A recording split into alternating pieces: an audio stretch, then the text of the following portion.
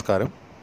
Aspire P S C coaching centre S W E പതിനഞ്ച് subject wise examination പതിനഞ്ച് മധ്യകാല India sultanate Mughal കാലഘട്ടത്തിൽ നിന്നുമാണ് അമ്പത് ചോദ്യങ്ങൾ ഇവിടെ നമ്മൾ ഡിസ്കസ് ചെയ്യുന്നത്.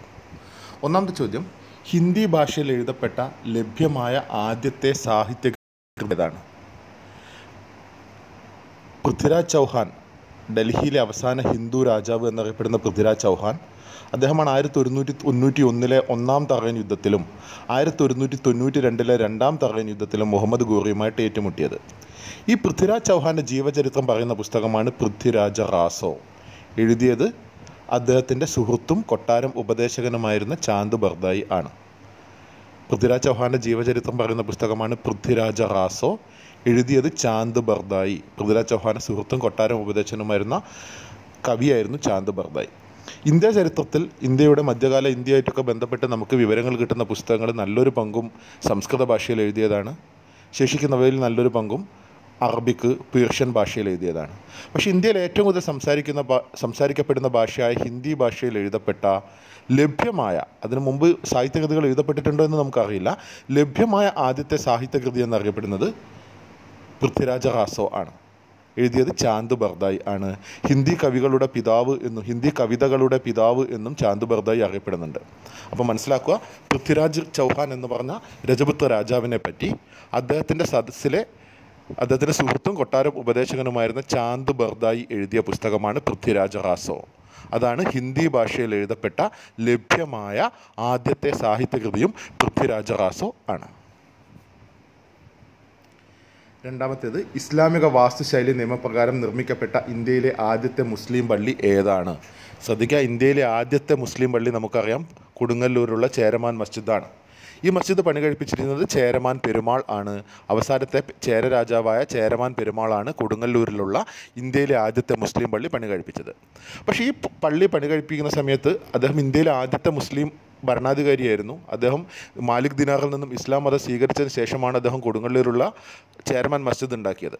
അതിനുശേഷം അദ്ദേഹം മെക്കയിൽ പോയി എന്നും അദ്ദേഹം തിരിച്ചു വരുന്നതിന് മുമ്പ് മെക്കയിൽ നിന്നും ഹജ്ജ് കർമ്മത്തിന് ശേഷം തിരിച്ചു വരുന്നതിനിടെ സലാലിൽ വെച്ച് മരണപ്പെട്ടു എന്നാണ് അറിയപ്പെടുന്നത്. അതുകൊണ്ട് തന്നെ ഒരു ഇന്ത്യയിലെ ആദ്യത്തെ മുസ്ലിം പള്ളിയായ കൊടുങ്ങല്ലൂരുള്ള ചേരമൻ മസ്ജിദ് ഉണ്ടാക്കുന്ന സമയത്ത് അദ്ദേഹം ഒരു മുസ്ലിം പള്ളി കണ്ടിട്ടില്ല. അതുകൊണ്ട് തന്നെ ഇസ്ലാമിക വാസ്തുശൈലി പ്രകാരം ഉദ്ദേശിക്കുന്നത് നിങ്ങൾ മനസ്സിലാക്കാം മുസ്ലിം പള്ളികളുടെ ഷേപ്പ് ഉണ്ടല്ലോ മിനാർ ഷേപ്പിൽ ആ ഷേപ്പിലല്ല ഇസ്ലാമിക ആർക്കിടെക്ചർ പ്രകാരമല്ല കൊടുങ്ങല്ലൂരിലുള്ള ചേരമാൻ മസ്ജിദ് നിർമ്മിക്കപ്പെട്ടത്. ഇന്ത്യയിലെ ആദ്യത്തെ മുസ്ലിം ഇസ്ലാം മുസ്ലിം പള്ളി ചെയർമാൻ മസ്ജിദ് തന്നെയാണ്. പക്ഷേ അത് ഇസ്ലാമിക് ആർക്കിടെക്ചർ പ്രകാരമല്ലായിരുന്നു ചെയർമാൻ പെരുമാൾ നിർമ്മിച്ചത്. ഇന്ത്യയിൽ ഇസ്ലാമിക വാസ്തുശൈലി പ്രകാരം നിർമ്മിക്കപ്പെട്ട ആദ്യത്തെ മുസ്ലിം പള്ളി സ്ഥാപിച്ചത് കുത്തബ്ദീൻ ഐബക്കാണ്. ആയിരത്തി അറുന്നൂറ്റി ഏഴിലാണ് ക്ഷമിക്കണം ആയിരത്തി ഇരുന്നൂറ്റി ഏഴിലാണ് കുത്തബ്ദീൻ ഐബക്ക് ഇന്ത്യയിലെ ആദ്യത്തെ മുസ്ലിം പള്ളി ഡൽഹിയിൽ സ്ഥാപിക്കുന്നത്. അതിന്റെ പേരാണ് ഖുവത്ത് ഉൽ ഇസ്ലാം. ശ്രദ്ധിക്കുക. അപ്പോൾ ഇന്ത്യയിൽ ഇസ്ലാമിക വാസ്തുശൈലി പ്രകാരം നിർമ്മിക്കപ്പെട്ട ആദ്യത്തെ മുസ്ലിം പള്ളിയാണ് ഖുവത്ത് ഉൽ ഇസ്ലാം. ഇസ്ലാമിന്റെ ശക്തി എന്നാണ് ആ വാക്കിന്റെ അർത്ഥം. അത് നിർമ്മിച്ചത് കുത്തബ്ദീൻ ഐബക്കാണ്. അതുകൊണ്ട് തന്നെ ഇന്ത്യയിൽ ഇസ്ലാമിക വാസ്തുശൈലി കൊണ്ടുവന്ന ഭരണാധികാരി എന്നറിയപ്പെടുന്നതും കുത്തബ്ദീൻ ഐബക്കിന് തന്നെയാണ്. പറഞ്ഞ വാക്കുകൾ ആവർത്തിക്കാം. ഇന്ത്യയിലെ ആദ്യത്തെ മുസ്ലിം പള്ളി ചെയർമാൻ മസ്ജിദാണ്. അത് ഇസ്ലാമിക വാസ്തുശൈലി പ്രകാരം ഉണ്ടാക്കിയ പള്ളിയല്ല. കാരണം അത് പള്ളി ഉണ്ടാക്കുന്ന സമയത്ത് ചെയർമാൻ പെരുമാളിന് ഒരു ഇസ്ലാമിക ശൈലി പ്രകാരമുള്ള മിസ്ജിദ് എങ്ങനെയാണ് നിർമ്മിക്കേണ്ടതെന്ന് അറിയില്ലായിരുന്നു. അതിനുശേഷമാണ് അദ്ദേഹം ഹജ്ജിന് പോകുന്നതും മരണപ്പെടുന്നതും. ഇന്ത്യയിലെ ഇസ്ലാമിക് ആർക്കിടെക്ചർ പ്രകാരമുള്ള ഇസ്ലാമിക വാസ്തുശൈലി പ്രകാരമുള്ള മിനാർ ഷേപ്പിലുള്ള ആദ്യത്തെ മുസ്ലിം പള്ളി ഡൽഹിയിൽ കുത്തബ്ദീൻ ഐബക്ക് സ്ഥാപിച്ച ഖുവത്തുൽ ഇസ്ലാം മസ്ജിദാണ്. അതുകൊണ്ട് തന്നെ കുത്തബ്ദീൻ ഐബക്കിനെ ഇന്ത്യയിൽ വാസ്തു ഇസ്ലാമിക ആർക്കിടെക്ചർ കൊണ്ടുവന്ന ഭരണാധികാരി എന്നും വിശേഷിപ്പിക്കപ്പെടുന്നുണ്ട്. മൂന്നാമത്തെ ചോദ്യം ഡൽഹി സുൽത്താനേറ്റ് ഭരിച്ച ആദ്യ വനിതാ ഭരണാധികാരി. ഡൽഹി സുൽത്താനേറ്റ് ഭരിച്ച ആദ്യ വനിതാ ഭരണാധികാരി ഡൽഹി സുൽത്താനേറ്റിലെ നാലാമത്തെ ഭരണാധികാരിയും കുത്തബ്ദീൻ ഐബക്ക് ആരം ഷാ അതിനുശേഷം ഇൽത്തുമിഷ് അതിനുശേഷം രുക്നുദ്ദീൻ ഫിറോസ് അത് കഴിഞ്ഞ് അഞ്ചാമത്തെ ഭരണാധികാരി കൂടിയായിരുന്ന സുൽത്താന ഹസിയ ആണ്. ഇൽത്തുമിഷിന്റെ മകളായിരുന്നു ആയിരത്തി ഇരുന്നൂറ്റി മുപ്പത്തി ആറ് ആയിരത്തി ഇരുന്നൂറ്റി നാൽപ്പത് ആയിരുന്നു സുൽത്താന റസിയയുടെ കാലഘട്ടം. ഡൽഹി ഭരിച്ച ആദ്യ വനിതാ ഭര വനിതാ ഭരണാധികാരി ഡൽഹി സുൽത്താനേറ്റിലെ ഇൽത്തുമിഷിന്റെ മകളായ സുൽത്താന റസിയ അല്ലെങ്കിൽ റസിയ സുൽത്താന ആയിരുന്നു കാലഘട്ടം ആയിരത്തി ഇരുന്നൂറ്റി മുപ്പത്തി ആറ് ആയിരത്തി ഇരുന്നൂറ്റി നാൽപ്പത് അടുത്ത ചോദ്യം. തബാക്കത്തി നസീർ എന്ന ഗ്രന്ഥം രചിച്ചത് ആരാണ്? തബാക്കത്തി നസീർ എന്ന് പറഞ്ഞ ഗ്രന്ഥം ലഭിച്ചത് ഡൽഹി സുൽത്താനേറ്റിലെ മൂന്നാമത്തെ സുൽത്താനായിരുന്ന ഷംസുദ്ദീൻ ഇൽത്തുമിഷിന്റെ സദസ്സിലെ അംഗമായിരുന്ന മിൻഹാജ് ഉൽ സിറാജ് ആണ്. മിൻഹാജ് ഉൽ സിറാജ് ആണ് ഇൽത്തുമിഷിന്റെ കാലഘട്ടത്തെ പറ്റിയുള്ള വിവരങ്ങൾ ലഭിക്കുന്ന പുസ്തകം. ഇൽത്തുമിഷിന്റെ ജീവചരിത്രം പറയുന്ന പുസ്തകമായ തബാക്കത്ത് ഇ നസീറി എഴുതിയത്. ആ വാക്കിന്റെ അർത്ഥം നസീർ വരെയുള്ളവരുടെ ചരിത്രം എന്നാണ് മൂന്നാമത്തെ സുൽത്താനായ ഇൽത്തുമിഷ് മുതൽ എട്ടാമത്തെ സുൽത്താനായ നസീറുദ്ദീൻ മെഹ്മൂദ് വരെയുള്ള എല്ലാ സുൽത്താൻ രാജാക്കന്മാരുടെയും ജീവചരിത്രം പറയുന്ന പുസ്തകമാണ് ആണ് ആ പുസ്തകം. അതുകൊണ്ടാണ് അതിന് നസീർ വരെയുള്ള സുൽത്താൻമാരുടെ കഥ പറയുന്ന നസീർ എന്ന് ഉദ്ദേശിച്ചത് എട്ടാമത്തെ സുൽത്താനായ Nasiruddin മെഹ്മൂദാണ്. Starting from the era of Shamsuddin Iltutmish. ഇൽത്തുമിഷിന്റെ കാലഘട്ടം മുതൽ നസീറുദ്ദീൻ മെഹ്മൂദ് വരെയുള്ള സുൽത്താൻമാരുടെ മുഴുവൻ കാലഘട്ടം ഇവരെ ലഭിക്കുന്ന പുസ്തകമാണ് തബാക്കത്തി നസീറി എഴുതിയത് മിൻഹാജ് ഉൽ സിറാജ്. ഈ മിൻഹാജ് ഉൽ സിറാജ് ആണ് ബംഗാളി ഭാഷ ഇവിടെ ഏറ്റവും കൂടുതൽ സംഭാവന നൽകിയ ബംഗാളി ഭാഷയുടെ പിതാവ് എന്നൊക്കെ അറിയപ്പെടുന്ന വ്യക്തിയാണ് മിൻഹാജുൽ സിറാജ്. അദ്ദേഹമാണ് തബാഖത്തി നസീർ എന്ന ഗ്രന്ഥം രചിച്ചിട്ടുള്ളത്. അഞ്ചാമത്തെ ചോദ്യം കൊട്ടാരത്തിൽ സംഗീതവും നൃത്തവും നിരോധിച്ച ഭരണാധികാരി ആരായിരുന്നു? ഈ ചോദ്യം പ്രത്യേകം ശ്രദ്ധിക്കണം. കൊട്ടാരത്തിൽ സംഗീതവും നൃത്തവും നിരോധിച്ച ഭരണാധികാരി ഗിയാസുദ്ദീൻ തുഗ്ലക്കാണ്. അതേസമയം കൊട്ടാരത്തിൽ ചിരിയും തമാശയും നിരോധിച്ച ഭരണാധികാരി ബാൽബനുമാണ്. ഈ രണ്ട് ചോദ്യങ്ങളും കൺഫ്യൂഷൻ ആവാൻ സാധ്യതയുണ്ട്. കൊട്ടാരത്തിൽ ചിരിയും തമാശയും നിരോധിച്ചത് ഒമ്പതാമത്തെ അടിമവംശ സുൽത്താനായ ഗിയാസുദ്ദീൻ ബാൽബനാണ്. ഇവിടെ കൊട്ടാരത്തിൽ സംഗീതവും നൃത്തവും നിരോധിച്ച ഭരണാധികാരിയാണ് ചോദിച്ചത്. കൊട്ടാരത്തിൽ സംഗീതവും നൃത്തവും നിരോധിച്ച ഭരണാധികാരി എന്ന് പറഞ്ഞാൽ തുഗ്ലക്ക് വംശസ്ഥാപകനും. ആയിരത്തി ഇരു മുന്നൂറ്റി ഇരുപത് മുതൽ ആയിരത്തി മുന്നൂറ്റി ഇരുപത്തിയഞ്ച് വരെയുള്ള കാലഘട്ടത്തിൽ ഡൽഹി സുൽത്താനുമായിരുന്ന ഗിയാസുദ്ദീൻ തുഗ്ലക്കാണ്. ഗിയാസുദ്ദീൻ തുഗ്ലക്കാണ് കൊട്ടാരത്തിൽ സംഗീതവും നൃത്തവും നിരോധിച്ചത് ഇത് അദ്ദേഹം സംഗീതവും നൃത്തവും ഇഷ്ടമല്ലാത്തത് കൊണ്ട് നിരോധിച്ചൊരു വ്യക്തിയല്ല. അമീർ ഖുസ്രു എഴുതിയ തുഗ്ലക്ക് നാമ എന്ന് പറഞ്ഞ ഗിയാസുദ്ദീൻ തുഗ്ലക്കിന്റെ ജീവചരിത്രത്തിൽ അദ്ദേഹത്തെ വിശേഷിപ്പിച്ചിരിക്കുന്നത് മഹാനായ ഭരണാധികാരി എന്ന് തന്നെയാണ്. അദ്ദേഹത്തെ ആ പുസ്തകത്തിനകത്ത് വിശേഷിപ്പിച്ചിരിക്കുന്ന വിശേഷണം സമൂഹത്തിന്റെ രോഗം മാറ്റിയ ഡോക്ടർ എന്നുമാണ്. അദ്ദേഹം സംഗീതവും നൃത്തവും നിരോധിച്ചത് ദൂത്ത് ഒഴിവാക്കാൻ വേണ്ടിയായിരുന്നു. ഗജനാവിലുള്ള പണം ജനങ്ങൾക്ക് അവകാശപ്പെട്ടതാണ് എന്നും അത് അമീർമാർക്ക് നൃത്തവും സംഗീതവും കഴിച്ച് ദൂർത്തടിക്കാനുള്ളതല്ല എന്നും ചിന്തിച്ചിരുന്ന വളരെ നീതിമാനായ ഒരു ഭരണാധികാരിയായിരുന്നു ഗിയാസുദ്ദീൻ തുഗ്ലക്. അതുകൊണ്ടാണ് അദ്ദേഹത്തെ തുഗ്ലക് നാമ എന്ന് പറഞ്ഞ ജീവചരിത്രത്തിൽ സമൂഹത്തിന്റെ രോഗം മാറ്റിയ ഭിഷഗ്വരൻ എന്ന് അമീർ ഖുസ്രു വിശേഷിപ്പിച്ചത്. ചെലവ് കുറയ്ക്കുക. ഖജനാവിലെ പൈസ ജനങ്ങൾക്ക് ഉപകാരപ്പെടുന്ന രീതിയിൽ ചെലവഴിക്കുക എന്നുള്ള ഉദ്ദേശത്തോടു കൂടിയാണ് അദ്ദേഹം കൊട്ടാരത്തിൽ നൃത്തവും സംഗീതവും നിരോധിച്ചത്. നൃത്തവും സംഗീതവും നിരോധിക്കുന്നത് ഗിയാസുദ്ദീൻ തുകളക്കാണ് ചിരിയും തമാശയും നിരോധിക്കുന്നത് ബാൽബനും ആണ്. അടുത്ത ചോദ്യം. ഏത് മന്ദിരത്തിന്റെ പ്രധാന പ്രവാചന പ്രവേശന കവാടമാണ് അലൈ ദർവാസ ഇവിടെ നമ്മൾ ശ്രദ്ധിക്കണം. അലൈ ദർവാസ അലൈ മിനാർ. ഇത് രണ്ടും പണി കഴിപ്പിച്ചത് അലാവുദ്ദീൻ ഖിൽജിയാണ് ബുലന്ത് ദർവാസ നമുക്കറിയാം. ദർവാസ എന്ന വാക്കിന്റെ അർത്ഥം വാതിൽ എന്നാണ് കവാടം എന്നാണ്. ബുലന്ത് ദർവാസ നമുക്കറിയാം ഫത്തേപൂർ സിക്രിയുടെ പ്രവേശന കവാടമാണ്. അക്ബറാണ് പണി കഴിപ്പിച്ചതെന്ന് നമുക്കറിയാം. ഇവിടെ അലൈ ദർവാസ അലൈ മിനാർ ഇത് രണ്ടും അലാവുദ്ദീൻ ഗിൽജി പണി കഴിപ്പിച്ചതാണ്. പക്ഷേ അലൈ മിനാറിന്റെ പ്രവേശന കവാടം അല്ല അലൈ ദർവാസ. ഓപ്ഷൻ കാണുമ്പോൾ നമുക്ക് കൺഫ്യൂഷൻ ഉണ്ടാവാൻ സാധ്യതയുള്ള ഒരു ചോദ്യമാണ് അലൈ മിനാറിന് പ്രവേശന കവാടം ഇല്ല. അലൈ ദർവാസ എന്ന് പറഞ്ഞാൽ കുത്തബ്ദീൻ ഐബക്ക് പണി ആരംഭിച്ച് ഇൽത്തുമിഷനാൽ പണി പൂർത്തിയാക്കപ്പെട്ട ഡൽഹിയിലെ പ്രധാന ചരിത്ര സ്മാരകമായ കുത്തബ് മിനാറിന്റെ പ്രവേശന കവാടമാണ് അലാവുദ്ദീൻ ഗിൽജി പണി കഴിപ്പിച്ച അലൈ ദർവാസ. അലൈ മിനാർ അലൈ ദർവാസ രണ്ടും അലാവുദ്ദീൻ ഖിൽജിയാണ് പണി കഴിപ്പിച്ചത്. പക്ഷേ അലൈ ദർവാസ എന്ന് പറഞ്ഞാൽ കുത്തബ് മിനാറിന്റെ പ്രവേശന കവാടമാണ് അലൈ മിനാറിന്റെ അല്ല. ബുലന്ത് ദർവാസ ഫത്തേപൂർ സിക്രിയുടേതാണ് അക്ബറാണ് പണി കഴിപ്പിച്ചത്. ഗുജറാത്ത് വിജയത്തിന്റെ ഓർമ്മയ്ക്ക് ആയിരത്തി അഞ്ഞൂറ്റി എഴുപത്തി രണ്ടിലാണ് ബുലന്ദ് ദർവാസ പണി കഴിപ്പിക്കപ്പെടുന്നത്. ഏഴാമത്തെ ചോദ്യം ഏത് ഡൽഹി സുൽത്താന്റെ ശരിയായ നാമമായിരുന്നു മാലിക് ഫിറോസ് ഷാ മാലിക് ഫിറോസ് ഷാ ഖിൽജി വംശസ്ഥാപകനാണ്. ജലാലുദ്ദീൻ ഗിൽജി എന്നാണ് അദ്ദേഹം അധികാരം ഏറ്റെടുക്കുന്നത്. ജലാലുദ്ദീൻ ഗിൽജിയുടെ ശരിയായ പേരാണ് മാലിക് ഫിറോസ് ഷാ. പക്ഷേ അദ്ദേഹം അധികാരം ഏറ്റെടുത്തത് ഖിൽജി വംശം സ്ഥാപിച്ചതെല്ലാം ജലാലുദ്ദീൻ ഗിൽജി എന്ന പേരിലാണ്. ആരുടെ ശവകുടീരമാണ് പാവപ്പെട്ടവന്റെ താജ് കൂട് താജ് എന്നുകൂടെ വിശേഷിപ്പിക്കപ്പെടുന്ന മീ ബി ക മഖ്ബറ? മുഗൾ ചക്രവർത്തിയായിരുന്ന ആറാമത്തെ മുഗൾ ചക്രവർത്തിയായിരുന്ന ഔറംഗസീബിന്റെ ഭാര്യയായിരുന്നു റാബിയ ദുറാനി. അവരുടെ സ്മരണയ്ക്ക് വേണ്ടി ഔറംഗസീബ് ദൗലത്താബാദിൽ ഔറംഗാബാദിൽ സ്ഥാപിക്കപ്പെട്ട സ്ഥാപിച്ച സ്മാരകമാണ് ബീബി ക മഖ്ബര അദ്ദേഹത്തിന്റെ പത്നിയായ ഔറംഗസീബിന്റെ പത്നിയായ രാബിയ ദുരാനിയുടെ ഓർമ്മയ്ക്ക് വേണ്ടി ഔറംഗസീബ് സ്ഥാപിച്ച ഔറംഗാബാദിലുള്ള ഒരു പ്രധാനപ്പെട്ട മന്ദിരമാണ് ബീബി ക നക്- ഇതാണ് പാവപ്പെട്ടവന്റെ താജ് എന്നും മിനി താജ് എന്നും വിശേഷിപ്പിക്കപ്പെടുന്നത് ബീബി ക മഖ്ബറ ആണ്. അത് റാബിയ ദുരാനി ഔറംഗസീബിന്റെ പത്നിയുടെ ശവകുടീരമാണ്. പതി ഒമ്പതാമത്തെ ചോദ്യം. ഷാജഹാന്റെ പത്നിയായിരുന്ന മുംതാസ് മഹലിന്റെ യഥാർത്ഥ നാമം. മുംതാസ് മഹൽ എന്ന പേര് നമുക്ക് വളരെ പ്രസിദ്ധമാണ്. ഷാജഹാന്റെ പത്നിയായിരുന്നു. അവരുടെ സ്മരണയ്ക്ക് വേണ്ടിയാണ് ഷാജഹാൻ ആയിരത്തി അറുന്നൂറ്റി മുപ്പത്തിരണ്ടിൽ പണി ആരംഭിച്ച് ആയിരത്തി അറുന്നൂറ്റി അൻപത്തി മൂന്നിൽ പണി പൂർത്തിയാക്കിയ ലോകത്തിലെ തന്നെ അത്ഭുതങ്ങളിലൊന്നായ താജ്മഹൽ നിർമ്മിക്കുന്നത്. ഈ മുംതാസ് മഹലിന്റെ ശരിയായ പേര് അർജു ബാനു ബീഗം എന്നായിരുന്നു. അർജുമാൻ ബാനു ബീഗം എന്നായിരുന്നു മുംതാസ് മഹൽ എന്ന ഷാജഹാന്റെ പത്നിയുടെ ശരിയായ നാമം.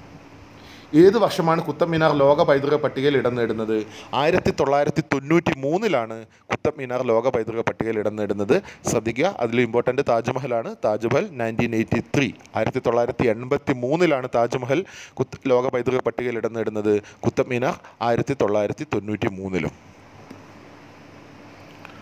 ആത്മകഥാകാരന്മാരുടെ രാജകുമാരൻ എന്ന് വിശേഷിപ്പിക്കപ്പെടുന്ന മുഗൾ ചക്രവർത്തി. മുഗൾ ചക്രവർത്തിമാരിൽ രണ്ട് പേര് മാത്രമേ ആത്മകഥ എഴുതിയിട്ടുള്ളൂ. ഒന്ന് ബാബറും ഒന്ന് ജഹാംഗീറും. ബാബറുടെ ആത്മകഥ ആണ് തുസുക്ക് തുസുക്ക് എന്ന വാക്കിന്റെ അർത്ഥം തുർക്കി ഭാഷയിലാണ് അദ്ദേഹം ആത്മകഥ എഴുതിയത്. തുസുക്ക് എന്ന വാക്കിന്റെ അർത്ഥം ജീവചരി ആത്മകഥ എന്നാണ്. തുർക്കിഷ് ഭാഷയിലാണ് ബാബറുടെ ആത്മകഥ എഴുതിയത്. അത് പിൻകാലത്താണത് പേർഷ്യൻ ഭാഷയിലേക്ക് ട്രാൻസ്ലേറ്റ് ചെയ്യപ്പെടുകയായിരുന്നു. അബ്ദുൽ റഹീം ഖാൻ എന്ന് പറഞ്ഞ വ്യക്തിയാണത്. മുഹമ്മദ് ഇതിലെ പിന്നെ പേർഷ്യൻ ഭാഷയിലേക്ക് ട്രാൻസ്ലേറ്റ് ചെയ്യുന്നത് തുർക്കിഷ് ഭാഷയിലാണ് അക്ബർ തന്റെ ജീവചരിത്രം എഴുതിയത്.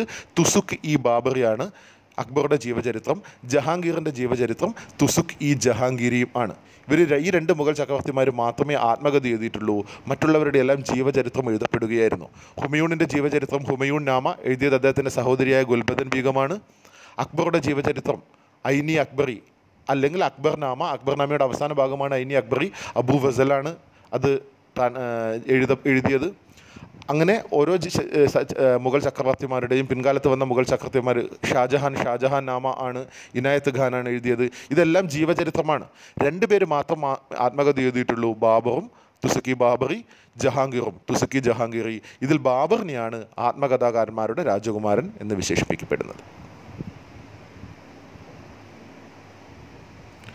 അക്ബറും റാണ പ്രതാപും തമ്മിൽ ഹാൽഡി ഘട്ട് യുദ്ധം നടന്ന വർഷം ആയിരത്തി അഞ്ഞൂറ്റി എഴുപത്തി ആറിലാണ് അക്ബറും മുഗൾ ചക്രവർത്തിയായിരുന്ന അക്ബറും രജപുത്ര രാജാവായിരുന്ന റാണ പ്രതാപ് സിസോദിയയും തമ്മിൽ ഹാൾഡി ഹട്ട് ഖാൾഡി എന്ന് പറഞ്ഞാൽ മഞ്ഞൾ എന്നാണ് അർത്ഥം. മഞ്ഞളിന്റെ കുന്ന് എന്നാണ് ഹാൽഡി ഘട്ട് എന്ന വാക്കിന്റെ അർത്ഥം. ഹാൾഡി ഘട്ട് യുദ്ധം നടന്നത്.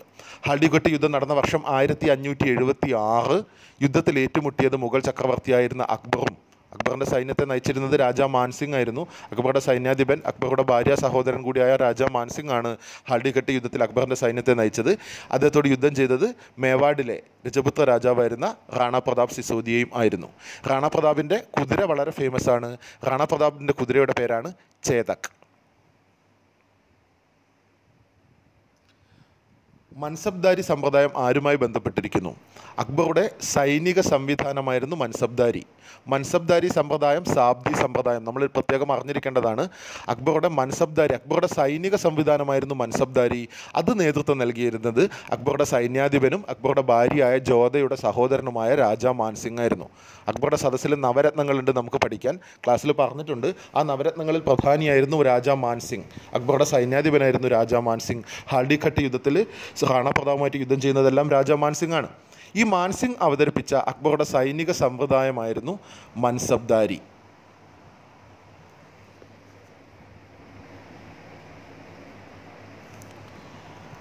മൻസബ്ദാരി സമ്പ്രദായത്തിന് നേതൃത്വം നൽകിയ വ്യക്തി രാജാ മാൻസിംഗ് ആണ്.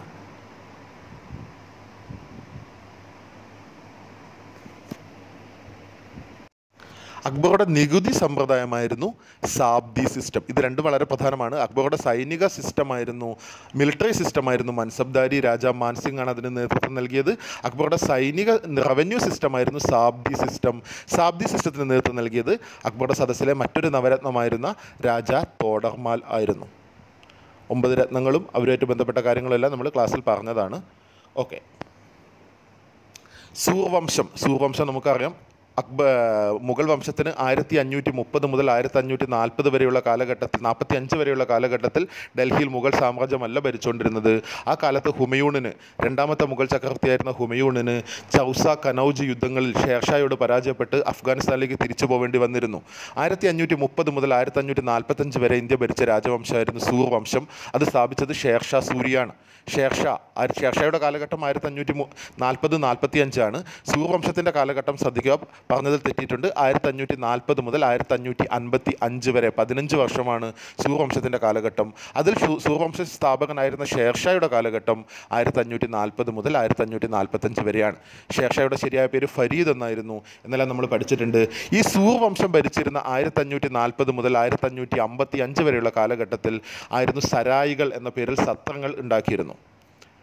ഈ വഴിയോര സത്രങ്ങളെയായിരുന്നു സരായികൾ എന്ന് പറഞ്ഞിരുന്നത്. സൂർവംശത്തിന്റെ രക്തധമനികൾ എന്ന് വിളിച്ചിരുന്നത് സരായികളെയാണ്. അക്ബറുടെ പത്നിയായിരുന്നു ജോധ. ഞാൻ പറഞ്ഞു ജോധയുടെ ശരിയായ പേര് ഹീര കുൻവാനി എന്നായിരുന്നു. പതിനാറാമത്തെ ചോദ്യം പുരാണക്കിലയുടെ പണി ആരംഭിച്ച മുഗൾ ചക്രവർത്തി. ഡൽഹിയിലെ ഒരു പ്രധാന ചരിത്ര സ്മാരകമാണ് പുരാണക്കില പുരാണക്കിലയുടെ പണി ആരംഭിക്കുന്നത് രണ്ടാമത്തെ മുഗൾ ചക്രവർത്തിയായിരുന്ന ഹുമയൂണാണ് ആയിരത്തി അഞ്ഞൂറ്റി മുപ്പത്തി ആറ് മുപ്പത്തേഴ് കാലത്തിലാണ് അദ്ദേഹം പുരാണക്കിലയുടെ പണി ആരംഭിക്കുന്നത്. പക്ഷേ അത് അദ്ദേഹത്തിന് പൂർത്തിയാക്കാൻ പറ്റില്ല. പുരാണക്കിലയുടെ പണി ആരംഭിക്കുന്നത് ഹുമയൂണും പുരാണക്കിലയുടെ പണി പൂർത്തിയാക്കുന്നത് സൂവംശ ഭരണാധികാരിയായ ഷേർഷാ സൂരിയുമാണ് അടുത്ത ചോദ്യം. ഏത് വർഷമാണ് മംഗോളിയൻ വംശജനായ ചെങ്കിസ് ഖാൻ ഇന്ത്യ ആക്രമിക്കുന്നത്? മംഗോളിയൻ വംശജരായ രണ്ടുപേരുടെ ആക്രമണമാണ് നമ്മൾ അറിഞ്ഞിരിക്കേണ്ടത്. ആയിരത്തി ഇരുന്നൂറ്റി ഇരുപത്തി ഒന്നിലാണ് ചെങ്കിസ് ഖാൻ ഇന്ത്യ ആക്രമിക്കുന്നത്. ആയിരത്തി മുന്നൂറ്റി തൊണ്ണൂറ്റി എട്ട് ഒരുപാട് തവണ പി എസ് സി ചോദിച്ചതാണ്. ആയിരത്തി മുന്നൂറ്റി തൊണ്ണൂറ്റി എട്ടിലാണ് ടിമോർ തൈമൂർ എന്നും അദ്ദേഹം അറിയപ്പെടുന്നുണ്ട്. ടിമോർ ഇന്ത്യ ആക്രമിക്കുന്നത്. രണ്ട് പ്രധാന മംഗോൾ വംശജരുടെ ആക്രമണമാണ് നമുക്ക് പഠിക്കാനുള്ളത്. ഇതിൽ ആയിരത്തി മുന്നൂറ്റി തൊണ്ണൂറ്റി എട്ടിലെ തൈമൂറിന്റെ ആക്രമണ സമയത്ത് ഡൽഹിയിൽ തുഗ്ലക്ക് വംശത്തിലെ മുഹമ്മദ് നസീറുദ്ദീൻ ഷാ ആണ് ഭരിച്ചുകൊണ്ടിരുന്നത്. ഇവിടെ ചോദിച്ചിരിക്കുന്നത് ആയിരത്തി ഇരുന്നൂറ്റി ഇരുപത്തി ഒന്നിൽ ഇന്ത്യ ആക്രമിച്ച മംഗോൾ വംശജനായിരുന്നു ചെങ്കിസ് ഖാൻ. ആ സമയത്ത് ഡൽഹി സുൽത്താൻ മറഞ്ഞിരിക്കുക ഇൽത്തുമിഷ് ആയിരുന്നു പ്രധാന പോയിന്റാണ് ആയിരത്തി ഇരുന്നൂറ്റി ഇരുപത്തി ഒന്നിലെ ചെങ്കിസ് ഖാന്റെ ആക്രമണ സമയത്ത് ഡൽഹി സുൽത്താൻ ഷംസുദ്ദീൻ ഇൽത്തുമിഷ് ആയിരുന്നു. ചെങ്കിസ് ഖാന്റെ ശരിയായ പേര് കൂടി അറിഞ്ഞിരിക്കണം. തെമുജിൻ ആണ്. അടുത്ത ചോദ്യം. ജഹാംഗീറിന്റെ ഭരണകാലത്ത് വില്യം ഹോക്കിൻസിനെ ആയിരത്തി അറുന്നൂറ്റി എട്ടിലാണ് വില്യം ഹോക്കിൻസ് ഇന്ത്യ സന്ദർശിക്കുന്നത്. ആയിരത്തി എണ്ണൂറ്റി പതിമൂന്നിലാണ് തോമസ് റോ ഇന്ത്യ സന്ദർശിക്കുന്നത്. ഇവരെ രണ്ടുപേരെയും മുഗൾ രാജധാനിയിലേക്ക് അയച്ചത് ആ സമയത്ത് ഇംഗ്ലണ്ടിലെ രാജാവായ ജെയിംസ് ഒന്നാമനാണ്. അറുന്നൂറ്റി എട്ടിൽ വില്യം ഹോക്കിൻസിനെയും അറുന്നൂറ്റി പതിമൂന്നിൽ തോമസ് റോയെയും ഇവരെ രണ്ടുപേരെയും ഇന്ത്യയിലേക്ക് പറഞ്ഞയക്കുന്നത് ജെയിംസ് ഒന്നാമനാണ്. അക്കാലത്തെ ഇംഗ്ലീഷ് രാജാവായിരുന്നു. പത്തൊമ്പതാമത്തെ ചോദ്യം. അക്ബറുടെ സദസ്സിലെ നവരത്നങ്ങളിൽ പെടുന്ന താൻസൻ എന്ന സംഗീതജ്ഞന്റെ ശരിയായ പേര്. അക്ബറുടെ സദസ്സിലെ സംഗീതജ്ഞനായിരുന്നു താൻസൻ അദ്ദേഹത്തിന്റെ ശരിയായ പേര് രാമതാണു പാണ്ഡെ. അത് അറിയപ്പെടുന്നത് മേഘമൽഹാർ രാഗം. അത് പാടി മഴ പെയ്യിച്ചു എന്നാണ് വിശ്വാസം. ദീപക് രാഗം. അത് പെയ്തിട്ട് തീ കത്തി എന്നാണ് വിശ്വാസം. ഇതെല്ലാം രചിച്ച വ്യക്തിയാണ് രാമതാണു പാണ്ഡെ. അദ്ദേഹം അറിയപ്പെടുന്നത് താൻസൻ എന്നാണ്. ഒമ്പത് രത്നങ്ങളായിരുന്നു ഒമ്പത് പ്രമുഖ വ്യക്തികളായിരുന്നു അക്ബറുടെ സദസ്സിലെ നവരത്നങ്ങൾ എന്ന് വിളിച്ചിരുന്നത്. അതിലൊരാൾ പ്രധാനം ബീർബൽ തന്നെയായിരുന്നു അക്ബറുടെ മന്ത്രി. അദ്ദേഹത്തിന്റെ ശരിയായ പേര് മഹേഷ് ദാസ് എന്നായിരുന്നു. താൻസൻ ഉണ്ടായിരുന്നു. താൻസന്റെ പേര് ശരിയായ പേരാണ് രാമതാണു പാണ്ഡെ. കൂടാതെ രാജ തോടർമാൽ അക്ബറുടെ റവന്യൂ ഉദ്യോഗസ്ഥനായിരുന്നു. അദ്ദേഹം കൊണ്ടുവന്ന സിസ്റ്റമായിരുന്നു സബ്ദി സമ്പ്രദായം. കൂടാതെ രാജ മാൻസിംഗ് അക്ബറുടെ സൈന്യാധിപനായിരുന്നു. മൻസബ്ദാരി സമ്പ്രദായം ആരംഭിച്ചു. കൂടാതെ അബു ഫൈസി അബു ഫസൽ അബ്ദുൾ റഹീം ഖാൻ മുല്ലാദോ പിയാസോ ഫക്കീർ അസിമാവുദ്ദീൻ ഇങ്ങനെ ഒരുപാട് പേരായിരുന്നു അക്ബറുടെ സദസ്സിലെ ഒമ്പത് പേരെയാണ് അക്ബറുടെ നവരത്നങ്ങൾ എന്ന് വിളിച്ചത്. അതിൽപ്പെട്ട താൻസന്റെ ശരിയായ പേരാണ് രാമതാണു പാണ്ഡെ. ബീർബലിന്റെ ശരിയായ പേര് മഹേഷ് ദാസ്. അടുത്ത ചോദ്യം. ഡൽഹി സിംഹാസനത്തിലെ ഉരുക്കു മനുഷ്യൻ എന്നറിയപ്പെടുന്ന ഭരണാധികാരി ആയിരത്തി ഇരുന്നൂറ്റി അറുപത്തി ആറ് മുതൽ ആയിരത്തി ഇരുന്നൂറ്റി എൺപത്തി ആറ് വരെ ഡൽഹി സുൽത്താനായിരുന്ന ഡൽഹി സുൽത്താനേറ്റിലെ അടിമ വംശത്തിലെ ഒമ്പതാമത്തെ സുൽത്താനായിരുന്ന ഗിയാസുദ്ദീൻ ബാൽബനെയാണ് ഡൽഹി സിംഹാസനത്തിലെ ഉരുക്കു മനുഷ്യനെന്നും അടിമ വംശത്തിലെ കരുത്തനായ ഭരണാധികാരി എന്നും എല്ലാം വിശേഷിപ്പിക്കപ്പെടുന്നത്. ഇദ്ദേഹം സ്വയം വിശേഷിപ്പിച്ച പേരാണ് ദൈവത്തിന്റെ പ്രതിപുരുഷനെന്ന്. ഇദ്ദേഹത്തിന്റെ കുപ്രസിദ്ധമായ നയമായിരുന്നു നിണവും ഇരുമ്പും നയം. അദ്ദേഹത്തിന്റെ ശരിയായ പേരായിരുന്നു ഉലൂഖ് ഖാൻ ഗിയാസുദ്ദീൻ ബാൽബൻ അദ്ദേഹത്തെയാണ് അടിമവംശത്തിലെ കരുത്തനായ ഭരണാധികാരി എന്നും ഡൽഹി സിംഹാസനത്തിലെ ഉരുക്കു മനുഷ്യൻ iron man on Delhi shrine എന്നും വിശേഷിപ്പിക്കപ്പെടുന്നത്. സുൽത്താനി സാനി എന്ന് വിശേഷിപ്പിക്കപ്പെട്ട സുൽത്താൻ. ശ്രദ്ധിക്കുക എഴുതിയിൽ തെറ്റാണ്. സുൽത്താൻ ഇ സാനി അല്ല സിക്കന്ദർ ഇ സാനി എന്നാണ്. സുൽത്താൻ അലാവുദ്ദീൻ ഖിൽജി ആയിരത്തി ഇരുന്നൂറ്റി തൊണ്ണൂറ്റി ആറ് മുതൽ ആയിരത്തി മുന്നൂറ്റി പതിനാറ് വരെ ഡൽഹി സുൽത്താനേറ്റ് ഭരിച്ച ഖിൽജി വംശത്തിലെ രണ്ടാമത്തെ ഭരണാധികാരിയായിരുന്നു അലാവുദ്ദീൻ ഖിൽജി. കാലഘട്ടം ആയിരത്തി ഇരുന്നൂറ്റി തൊണ്ണൂറ്റി ആറ് ആയിരത്തി മുന്നൂ ആയിരത്തി ഇരുന്നൂറ്റി തൊണ്ണൂറ്റി ആറ് ആയിരത്തി മുന്നൂറ്റി പതിനാറ് അലാവുദ്ദീൻ ഖിൽജിയുടെ ശരിയായ പേര് അലി ഗുർഷാപ്പ് എന്നായിരുന്നു. വലിയൊരു സാമ്രാജ്യത്തിന്റെ അധിപനായ ഒരു ഭരണാധികാരിയായിരുന്നു അലാവുദ്ദീൻ ഖിൽജി. വലിയൊരു സാമ്രാജ്യത്തിന്റെ അധിപൻ എന്ന അർത്ഥം വരുന്ന സിക്കന്ദർ ഇ സാനി എന്നറിയപ്പെട്ടിരുന്നത് അലാവുദ്ദീൻ ഖിൽജിയാണ്. കൂടാതെ രണ്ടാം അലക്സാണ്ടർ എന്ന അലാവുദ്ദീൻ ഖിൽജി അറിയപ്പെട്ടിട്ടുണ്ടായിരുന്നു. മുസ്ലിം ഇന്ത്യയുടെ സമുദ്രഗുപ്തൻ എന്ന് വിശേഷിപ്പിക്കപ്പെട്ടതും അലാവുദ്ദീൻ ഖിൽജി തന്നെയാണ്. മൂന്ന് വിശേഷണങ്ങളാണ്. ഈ മൂന്ന് വിശേഷണങ്ങൾ അദ്ദേഹത്തിന് കിട്ടിയത് വലിയൊരു സാമ്രാജ്യത്തിന്റെ അധിപനായതുകൊണ്ടാണ്. സിക്കന്ദർ ഇ സാഹ്നി സിക്കന്ദറാണ് സിക്കന്ദർ ഇ സാഹ്നി മുസ്ലിം ഇന്ത്യയുടെ സമുദ്രഗുപ്തൻ രണ്ടാം അലക്സാണ്ടർ. അടുത്ത ചോദ്യം. ഏറ്റവും കൂടുതൽ കാലം സുൽത്താൻ പദവിയിലിടുന്ന ഭരണാധികാരി ഡൽഹി സുൽത്താനേറ്റിലെ അഞ്ച് രാജവംശങ്ങളിൽ കൂടെയുള്ള മുപ്പത്തിനാല് സുൽത്താൻമാരിൽ വെച്ച് ഏറ്റവും കൂടുതൽ കാലം സുൽത്താൻ പദവിയിലിടുന്നത് അതായത് മുപ്പത്തിയെട്ട് വർഷം ആയിരത്തി നാനൂറ്റി അൻപത്തി ഒന്ന് മുതൽ ആയിരത്തി നാനൂറ്റി എൺപത്തി ഒമ്പത് വരെയുള്ള കാലഘട്ടം ഭരണത്തിലിടുന്നത് ലോധി വംശ സ്ഥാപകനായ ബഹനോ ലോധിയാണ്. മുപ്പത്തിയെട്ട് വർഷമായിരുന്നു ബഹനോ ലോധി സുൽത്താൻ പദവിയിലിടുന്നത് അദ്ദേഹത്തിന്റെ കാലഘട്ടം ആയിരത്തി നാനൂറ്റി അൻപത്തി ഒന്ന് ആയിരത്തി നാനൂറ്റി എൺപത്തി ഒമ്പത് അദ്ദേഹമാണ് ലോധി വംശസ്ഥാപകൻ. ഇന്ത്യ ഭരിച്ച ആദ്യത്തെ അഫ്ഗാൻ ഭരണാധികാരിയും ബഹ്നോ ലോധി ആയിരുന്നു. ഇരുപത്തിമൂന്ന് ഡൽഹി സുൽത്താനേറ്റിന്റെ ചരിത്രത്തിലെ ഏറ്റവും പ്രായം കുറഞ്ഞ സുൽത്താൻ. ഏറ്റവും പ്രായം കൂടിയ സുൽത്താൻ ബാൽബനാണ്. ഏറ്റവും പ്രായം കുറഞ്ഞ സുൽത്താൻ ആറാം വയസ്സിൽ സുൽത്താനായ ഒരു വ്യക്തിയാണ്. അലാവുദ്ദീൻ ഗിൽജി മാലിക് കഫൂറിനാൽ വധിക്കപ്പെട്ടതിനെ തുടർന്ന് ആയിരത്തി ഇരുന്നൂറ്റി മുന്നൂറ്റി പതിനാറിൽ രാജ്യത്ത് അലാവുദ്ദീൻ ഖിൽജി വധിക്കപ്പെട്ടു. അദ്ദേഹത്തിന്റെ മകനായ അതായത് അടുത്ത അനന്തരാവകാശി കൂടിയായിരുന്ന കിസർ ഖാനും മറ്റൊരു മകനായ ഷാദി ഖാനും അലാവുദ്ദീൻ ഖിൽജിയുടെ മകനും എല്ലാം തടവിലാക്കപ്പെട്ടു. എന്നിട്ട് മാലിക് കഫൂർ അധികാരം ഏറ്റെടുക്കാൻ പുറപ്പെട്ട സമയത്ത് ജനങ്ങളിൽ നിന്ന് വലിയ പ്രതിഷേധം ഉണ്ടായതിനെ തുടർന്ന് മാലിക് കഫൂറിന് സുൽത്താനാവാൻ പറ്റിയില്ല. അലാവുദ്ദീൻ ഖിൽജിയുടെ സൈന്യാധിപനായിരുന്നു മാലിക് കഫൂർ. അതിനെ തുടർന്ന് ഒരു ഒത്തുതീർപ്പ് എന്നുള്ള നിലയിൽ അലാവുദ്ദീൻ ഖിൽജിയുടെ ഏറ്റവും ഇളയ മകനെ പിടിച്ച് സുൽത്താനാക്കും. ആറാം വയസ്സിൽ സുൽത്താനാവുന്ന വ്യക്തിയാണ് അലാവുദ്ദീൻ ഖിൽജിയുടെ ഇളയ മകനായ ഷഹാബുദ്ദീൻ ഒമർ ഷാ. ആറാം വയസ്സിൽ സുൽത്താനായ ഷഹാബുദ്ദീൻ ഒമർ ഷാ ആണ് ഡൽഹി സുൽത്താനേറ്റിന്റെ ചരിത്രത്തിലെ ഏറ്റവും പ്രായം കുറഞ്ഞ ഭരണാധികാരി. ഏറ്റവും പ്രായം കൂടിയ ഭരണാധികാരി ആയിരത്തി ഇരുന്നൂറ്റി അറുപത് ആയിരത്തി ഇരുന്നൂറിൽ ജനിച്ച് ആയിരത്തി ഇരുന്നൂറ്റി എൺപത്തേഴിൽ മരണപ്പെട്ട ഗിയാസുദ്ദീൻ ബാൽബൻ ആണ്. വെടിക്കെട്ട് പുരക്കി തീപിടിച്ചതിനെ തുടർന്ന് ഭരണപ്പെട്ട ഭരണാധികാരി സൂർ വംശം നമ്മൾ നേരത്തെ പറഞ്ഞു. ഇടക്കാലത്ത് മുഗൾ ഭരണത്തിന് ഇന്ത്യയിൽ ഇല്ലാതാവുകയും ആയിരത്തി ഇരുന്നൂറ്റി നാൽപ്പത് മുതൽ ആയിരത്തി സോറി ആയിരത്തി അഞ്ഞൂറ്റി നാൽപ്പത് മുതൽ ആയിരത്തി അഞ്ഞൂറ്റി അൻപത്തി അഞ്ച് വരെയുള്ള കാലഘട്ടം ഡൽഹി ഭരിച്ച രാജവംശമാണ് സൂർവംശം സൂർവംശ സ്ഥാപകനായിരുന്നു ഫരീദ് എന്ന് ശരിയായ നാമമുള്ള ഷേർഷാ സൂരി. ഈ ഷേർഷാ മരണപ്പെടുന്നത് ആയിരത്തി ഇരുന്നൂറ്റി നാൽപ്പത്തഞ്ചിൽ കലയഞ്ചേർ കോട്ട യുദ്ധത്തിനിടയിൽ സ്വന്തം സൈന്യത്തിന്റെ വെടിക്കെട്ട് പുരക്കി അദ്ദേഹം സന്ദർശനം നടത്തുമ്പോൾ അത് തീപിടിച്ചും അതിനുള്ളിൽപ്പെട്ട് മരണപ്പെടുകയാണ് ഉണ്ടാവുന്നത്. ഷേർഷാ ആണ് ആയിരത്തി അഞ്ഞൂറ്റി നാൽപ്പത്തി അഞ്ചിൽ വെടിക്കെട്ട് പുരക്കി തീപിടിച്ച് മരണപ്പെട്ട ഭരണാധികാരി. അദ്ദേഹമാണ് സൂർവംശ സ്ഥാപകൻ.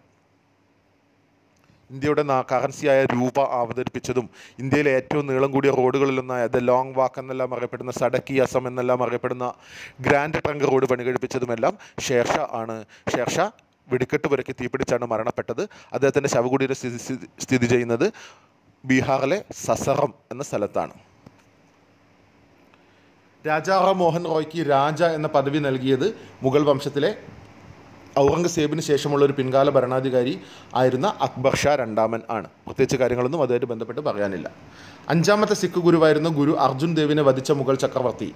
സിഖ് മതത്തിൽ പത്ത് ഗുരുക്കന്മാരാണുള്ളത്. ഗുരു നാനാക്കൾ തുടങ്ങി. ഗുരു അംഗദ് ദേവ് ഗുരു അമൃത്ദാസ് ഗുരു രാംദാസ് ഗുരു അർജുൻ ദേവ് ഗുരു ഹർഗോവിന്ദ് ഹർറായ് ഹർകിഷൻ തേജ് ബഹാദൂർ ആൻഡ് ഗുരു ഗോവിന്ദ് സിംഹൻ ഇങ്ങനെയാണ് പത്ത് സിഖ് ഗുരുക്കന്മാരുള്ളത്.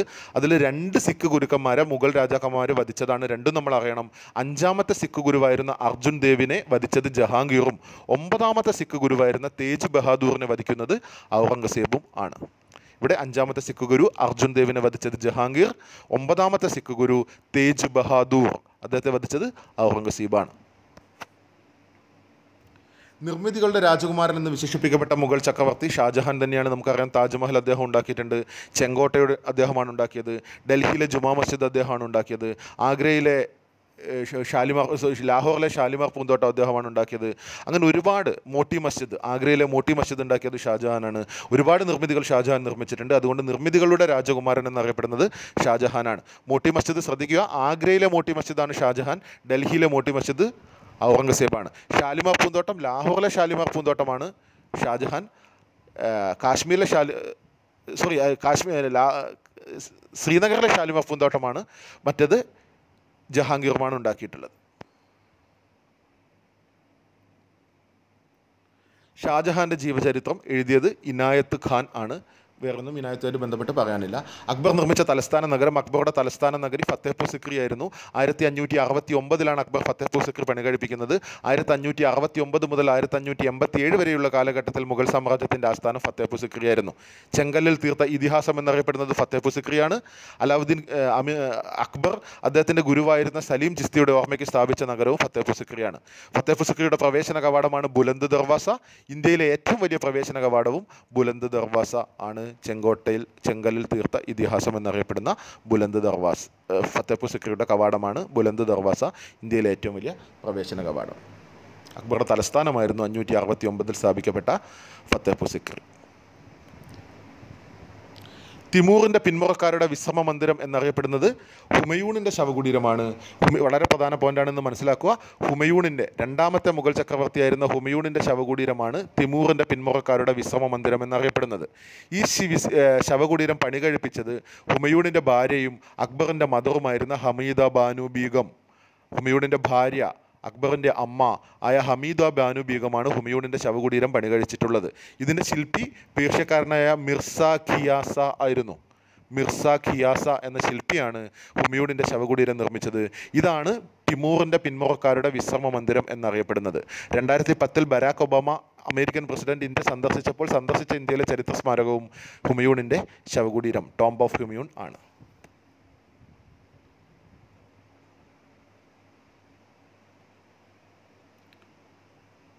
അടുത്ത ചോദ്യം.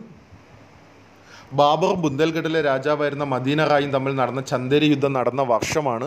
ബാബർ ഇന്ത്യയിലെ നാല് യുദ്ധമാണ് നമ്മൾ പ്രധാനമായിട്ടും പഠിക്കേണ്ടത്. ആയിരത്തി അഞ്ഞൂറ്റി ഇരുപത്തി ആറിൽ ഒന്നാം പാനിപ്പറ്റ് യുദ്ധത്തിൽ ബാബർ ഇബ്രാഹിം ലോധിയെ പരാജയപ്പെടുത്തുന്നു. ആയിരത്തി അഞ്ഞൂറ്റി ഇരുപത്തി ഏഴിൽ അക്ബർ ബാബർ നടത്തിയ പ്രധാന യുദ്ധമാണ്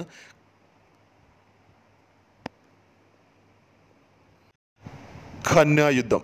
ഖന്ന യുദ്ധം ബാബറും സംഗ്രാമ സിൻഹൻ എന്ന രജപുത്ര രാജാവും തമ്മിലാണ് ആയിരത്തി അഞ്ഞൂറ്റി ഇരുപത്തി ഏഴിൽ നടന്നത്. ഖന്ന യുദ്ധം എന്നാണ് അറിയപ്പെടുന്നത്. റാണ സംഗ്രാമ സിംഹൻ റാണ സംഘ എന്നറിയപ്പെടുന്നത് റാണ സംഗ്രാമ സിംഹനാണ് ആ യുദ്ധമാണ് ആയിരത്തി അഞ്ഞൂറ്റി ഇരുപത്തി ഏഴിൽ നടന്ന ഖന്ന യുദ്ധം. ആയിരത്തി അഞ്ഞൂറ്റി ഇരുപത്തി എട്ടിൽ ബാബർ നടത്തിയ പ്രധാന യുദ്ധമാണ്. ബുന്ദേൽഗഡിലെ രാജാവായ മദീന റായുമായും നടത്തിയ യുദ്ധമാണ്. ചന്ദേരി യുദ്ധം. ഈ ആയിരത്തി അഞ്ഞൂറ്റി ഇരുപത്തി എട്ടിൽ തന്നെയാണ് ഇന്ത്യയിലെ എക്കാലത്തെയും വലിയൊരു വിവാദ വിഷയമായിരുന്ന ബാബറി മസ്ജിദ്. ബാബറുടെ സൈന്യാധിപനായിരുന്ന മിർബക്ഷി ആണ് ബാബറി മസ്ജിദ് പണി കഴിപ്പിച്ച വർഷവും സദ്യയ്ക്ക് ആയിരത്തി അഞ്ഞൂറ്റി ഇരുപത്തി എട്ടിലാണ് ഇന്ത്യയിലെ വളരെ പ്രധാനപ്പെട്ട ഒരു ഒരു വിവാദ വിഷയമായിരുന്ന ബാബറി മസ്ജിദ് പണി കഴിപ്പിക്കപ്പെട്ട വർഷം ആയിരത്തി അഞ്ഞൂറ്റി ഇരുപത്തി എട്ടാണ് അക്ബറുടെ സൈന്യ ബാബറുടെ സൈന്യാധിപനായിരുന്ന മിർബക്ഷിയാണ് അഞ്ഞൂറ്റി ഇരുപത്തി എട്ടിൽ ചന്ദേരി യുദ്ധത്തിൽ പങ്കെടുത്തത് പങ്കെടുത്തതും അതിനെ തുടർന്ന് ബാബറി മസ്ജിദ് ഫൈസാബാദ് ജില്ലയിലെ അയോധ്യയിൽ സ്ഥാപിക്കുന്നതും. ആയിരത്തി അഞ്ഞൂറ്റി ഇരുപത്തി ഒമ്പതിൽ ബാബർ നടത്തിയ പ്രധാന യുദ്ധമാണ് ഖാഗ്ര യുദ്ധം. ഇതിനകത്ത് ബാബർ ബാക്കിയുണ്ടായിരുന്ന ഇന്ത്യയിൽ ബാക്കിയുണ്ടായിരുന്ന ലോധി വംശജരുമായി മഹമ്മൂദ് ലോദിയുടെ നേതൃത്വത്തിലുള്ള സൈന്യവുമായിട്ട് നടന്ന യുദ്ധമാണ് ഖാഗ്ര യുദ്ധം. അപ്പോൾ ബാബറുടെ ഈ നാല് യുദ്ധങ്ങൾ ഞാൻ ഒരിക്കൽ കൂടി ആവർത്തിക്കാം. വർഷം ആയിരത്തി അഞ്ഞൂറ്റി ഇരുപത്തിയാറ് ബാബറും ഇബ്രാഹിം ലോബി ലോധിയും തമ്മിൽ നടന്നതാണ് ഒന്നാം പാനിപ്പറ്റി യുദ്ധം.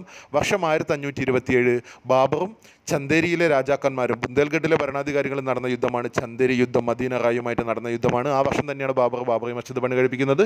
ആയിരത്തി അഞ്ഞൂറ്റി ഇരുപത്തി ക്ഷമിക്കണം ആയിരത്തി അഞ്ഞൂറ്റി ഇരുപത്തി എട്ടിലാണ് ചന്ദേരി യുദ്ധം നടക്കുന്നത്. ആയിരത്തി അഞ്ഞൂറ്റി ഇരുപത്തിയേഴിൽ ബാബർ ഏറ്റുമുട്ടിയത് റാണ സംഗ്രാമസിംഹനുമായിട്ടാണ്. ആ യുദ്ധത്തിന്റെ പേരാണ് ഖന്ന യുദ്ധം. ഇരുപത്തിയെട്ടിൽ ചന്ദേരി യുദ്ധം. ബുന്ദേൽഗഡിലെ രാജാവുമായിട്ട് ആയിരത്തി അഞ്ഞൂറ്റി ഇരുപത്തി ഒമ്പതിലാണ് ഖാഗ്ര യുദ്ധം. മഹമ്മൂദ് ലോധിയുമായിട്ട്. ഈ നാല് യുദ്ധങ്ങളാണ് ബാബറുമായിട്ട് ബന്ധപ്പെട്ട് പഠിക്കാനുള്ളത്. മുപ്പത്തിരണ്ടാമത്തെ ചോദ്യം പ്രവാചകന്റെ പിന്മുറക്കാർ എന്ന് വിശേഷിപ്പിക്കപ്പെട്ട ഡൽഹിയിലെ സുൽത്താൻ രാജവംശം. ഡൽഹിയിലെ അഞ്ച് സുൽത്താൻ രാജവംശങ്ങളിൽ അടിമ ഖിൽജി തുഗ്ലക്ക് സയ്യദ് ലോധി. സയ്യദുകൾ വിശ്വസിച്ചിരുന്നത് തങ്ങൾ സുൽത്താൻമാരായിരുന്നില്ല എന്നും തങ്ങൾ പ്രവാചകൻ മുഹമ്മദ് നദിയുടെ പിൻ നബിയുടെ പിന്മുറക്കാരായിരുന്നു എന്നായിരുന്നു. അതുകൊണ്ട് പ്രവാചകന്റെ പിന്മുറക്കാർ എന്നറിയപ്പെടുന്ന രാജവംശം എന്ന് ചോദിച്ചാലും സ്വയം സുൽത്താൻ എന്ന് വിശേഷിപ്പിക്കാതിരുന്ന രാജവംശം ഏത് എന്ന് ചോദിച്ചാലും സയ്യദ് വംശമാണ് ഉത്തരം. സയ്യദ് വംശം ഡൽഹി ഭരിച്ച കാലഘട്ടം എന്ന് പറഞ്ഞാൽ ആയിരത്തി നാനൂറ്റി പതിനാല് മുതൽ ആയിരത്തി നാനൂറ്റി അമ്പത്തി ഒന്ന് വരെയാണ്. സയ്യദ് വംശ സ്ഥാപകൻ കിസർ ഖാൻ ആയിരുന്നു. സയ്യദ് വംശത്തിലെ അവസാനത്തെ ഭരണാധികാരി ഷാ ആലം ആയിരുന്നു. ഷാ ആലം അദ്ദേഹത്തിന്റെ പേരല്ല ബഹുമതിയാണ്. ശരിയായ പേര് അലാവുദ്ദീൻ ആലം ഷാ ആണ്. പക്ഷേ പി എസ് സിയുടെ ആൻസർ ആയിരത്തി നാനൂറ്റി നാൽപ്പത്തഞ്ച് ആയിരത്തി നാനൂറ്റി അമ്പത്തൊന്ന് കാലഘട്ടത്തിൽ ലോധി സയ്യദ് വംശത്തിലെ അവസാന ഭരണാധികാരി ഷാ ആലം. പ്രവാചകന്റെ പിന്മുറക്കാർ എന്നറിയപ്പെട്ടു സ്വയം സുൽത്താൻ എന്ന് വിശേഷിപ്പിക്കാതിരുന്ന രാജവംശം. രണ്ട് ചോദിച്ചാലും സയ്യദ് വംശമാണ്. കാലഘട്ടം നാനൂറ്റി പതിനാല് നാനൂറ്റി അമ്പത്തി ഒന്ന് ഗുൽറുഖി എന്ന തൂലിക നാമത്തിൽ കവിതകൾ രചിച്ചിരുന്ന ഡൽഹി സുൽത്താൻ. ഡൽഹി സുൽത്താനേറ്റിലെ അവസാനത്തെ രാജവംശമായിരുന്ന ലോധി വംശത്തിൽ മൊത്തം മൂന്ന് സുൽത്താന്മാരെണ്ണാണ് ഉണ്ടായിരുന്നത്. ബഹനൂൽ സിക്കന്ദർ ആൻഡ് ഇബ്രാഹിം. അതിൽ രണ്ടാമത്തെ ഭരണാധികാരിയായിരുന്നു ലോധി വംശത്തിലെ ഏറ്റവും കരുത്തനായ ഭരണാധികാരി. അദ്ദേഹത്തിന്റെ കാലഘട്ടം എന്ന് പറയുന്നത് ആയിരത്തി നാനൂറ്റി എൺപത്തി ഒമ്പത് മുതൽ ആയിരത്തി അഞ്ഞൂറ്റി പതിനേഴ് വരെയായിരുന്നു സിക്കന്ദർ ഷാ സിക്കന്ദർ ലോധി ആയിരുന്നു അദ്ദേഹം. സിക്കന്ദർ ലോധി ആയിരുന്നു ലോധി വംശത്തിലെ ഏറ്റവും കരുത്തനായ ഭരണാധികാരി. ആയിരത്തി നാനൂറ്റി എൺപത്തി ഒമ്പത് ആയിരത്തി അഞ്ഞൂറ്റി പതിനേഴാണ് അദ്ദേഹത്തിന്റെ കാലഘട്ടം. അദ്ദേഹമാണ് ആഗ്ര നഗര സ്ഥാപകൻ. അതാണ് പ്രധാന പോയിന്റ് ആഗ്ര നഗരത്തിന്റെ ശില്പി ആഗ്ര നഗര സ്ഥാപകൻ എന്നറിയപ്പെടുന്നത് സിക്കന്ദർ ലോധി ലോധിയാണ്. അദ്ദേഹം കവിതകൾ എഴുതിയിട്ടുണ്ടായിരുന്നു ഉറുദു ഭാഷയിൽ. അദ്ദേഹത്തിന്റെ ഉറുദു ഭാഷയിൽ കവിതകൾ എഴുതിയിരുന്ന സമയത്ത് അദ്ദേഹത്തിന്റെ തൂലികാനാമമായിരുന്നു ഗുൽറുഖി മുപ്പത്തിനാല് തിനു തിമൂറിന്റെ ഇന്ത്യൻ ആക്രമണം നടന്ന വർഷം എത്രയോ തവണ ആവർത്തിച്ച ചോദ്യമാണ്. തിമൂറിന്റെ ആക്രമണം ആയിരത്തി മുന്നൂറ്റി തൊണ്ണൂറ്റി എട്ടിലാണ് ആ സമയത്ത് തുഗ്ലക്ക് വംശമാണ് ഇന്ത്യ ഭരിച്ചുകൊണ്ടിരുന്നത്. ആ സമയത്തെ ഭരണാധികാരി തുഗ്ലക്ക് വംശത്തിൽ അവ അവസാനത്തെ ഭരണാധി കൂടിയായിരുന്ന നസീറുദ്ദീൻ മുഹമ്മദ് ഷാ ആണ്. നസീറുദ്ദീൻ മുഹമ്മദ് ഷായുടെ കാലഘട്ടം ആയിരത്തി മുന്നൂറ്റി തൊണ്ണൂറ്റി അഞ്ച് ആയിരത്തി നാനൂറ്റി പതിനാലാണ് ആയിരത്തി മുന്നൂറ്റി തൊണ്ണൂറ്റി എട്ടിൽ തിമൂർ ഇന്ത്യ ആക്രമിക്കുമ്പോൾ തുഗ്ലക്ക് വംശത്തിലെ അവസാന ഭരണാധികാരിയായിരുന്ന മുഹമ്മദ് നസീറുദ്ദീൻ മുഹമ്മദ് ഷാ ആണ് ഡൽഹി ഭരിച്ചുകൊണ്ടിരുന്നത്. വർഷം ആയിരത്തി മുന്നൂറ്റി തൊണ്ണൂറ്റി എട്ട് മുഹമ്മദ് ബിൻ രണ്ടാമൻ എന്ന സ്ഥാനപ്പേരോടെ ഇന്ത്യ ഭരിച്ച സുൽത്താൻ മുഹമ്മദ് നസീറുദ്ദീൻ ഷാ ആണ് ആയിരത്തി മുന്നൂറ്റി തൊണ്ണൂറ്റി എട്ടിൽ തിമൂറിന്റെ ആക്രമണത്തെ തുടർന്ന് സുൽ തുഗ്ലക് വംശം പൂർണമായും ശിഥിലമാവുകയും ആക്രമണാനന്തരം ഇന്ത്യ വിട്ടുപോകുന്ന തൈമൂർ അദ്ദേഹത്തിന്റെ സൈന്യാധിപനായിരുന്ന കിസർഗാനോട് ഇന്ത്യയുടെ ഭരണം ഏറ്റെടുക്കാൻ പറയുകയും ചെയ്യും. അതേസമയം കിസർഗാൻ വിശ്വസിച്ചിരുന്നത് താൻ സുൽത്താൻ ആവേണ്ട ആവൾ വ്യക്തിയല്ല എന്നും താൻ പ്രവാചകന്റെ പിന്മുറക്കാരനായിരുന്നു എന്ന് വിശ്വസിച്ചിരുന്ന കിസർഗാൻ ആ കാലത്ത് ഡൽഹി ഭരിച്ചിരുന്ന തുഗ്ലക് വംശത്തിലെ അവസാന രാജാവായിരുന്ന നസീറുദ്ദീൻ മെഹ്മൂദിനോട് ഭരണം തുടരാനും താങ്കളുടെ കാലശേഷം വരെ മാത്രമേ ഞാൻ താൻ അധികാരം ഏറ്റെടുക്കുകയുള്ളൂ. അതുവരെ താങ്കൾക്ക് അധികാരിയായി തുടരാം. പക്ഷേ താങ്കൾ പ്രവാചകന്റെ പിന്മുറക്കാരൻ എന്ന അർത്ഥം വരുന്ന മുഹമ്മദ് ബിൻ രണ്ടാമൻ എന്ന നാമം സ്വീകരിക്കണമെന്നും ആവശ്യപ്പെടുന്നു. അതിനെ തുടർന്നാണ് തിമൂറിന്റെ ആക്രമണാനന്തരം നസീറുദ്ദീൻ മുഹമ്മദ് ഷാ മുഹമ്മദ് ബിൻ രണ്ടാമൻ എന്ന സ്ഥാനപ്പേര് സ്വീകരിക്കുകയും ഭരണം തുടരുകയും ചെയ്യുന്നുണ്ട്. നസ് പ്രവാചകന്റെ പിന്മുറക്കാരൻ എന്നുള്ള അർത്ഥത്തിൽ വരുന്നത്. അതിന്റെ തുടർച്ചയായിട്ടാണ് സയ്യിദ് വംശം ആയിരത്തി നാനൂറ്റി പതിനാലിൽ മുഹമ്മദ് നസീറുദ്ദീൻ ഷായുടെ മരണശേഷം കിസർ ഖാൻ സയ്യദ് വംശം സ്ഥാപിക്കുന്നത്. സയ്യദ് വംശത്തെ പറ്റി ഞാൻ പറഞ്ഞു അത് പ്രവാചകന്റെ പിന്മുറക്കാരൻ എന്നറിയപ്പെടുന്ന രാജവംശമാണ്. പക്ഷേ പ്രവാചകന്റെ പിന്മുറക്കാരൻ എന്ന അർത്ഥം വരുന്ന മുഹമ്മദ് ബിൻ രണ്ടാമൻ എന്ന പേര് നാമം സ്വീകരിച്ചുകൊണ്ട് ഭരണം നടത്തിയ ഭരണാധികാരി തുഗ്ലക്ക് വംശത്തിലെ അവസാന ഭരണാധികാരിയായിരുന്ന നസീറുദ്ദീൻ മുഹമ്മദ് ഷാ ആണ്. നസീറുദ്ദീൻ മുഹമ്മദ് ഷായുടെ കാലഘട്ടം ആയിരത്തി മുന്നൂറ്റി തൊണ്ണൂറ്റി അഞ്ച് ആയിരത്തി നാനൂറ്റി പതിനാല്.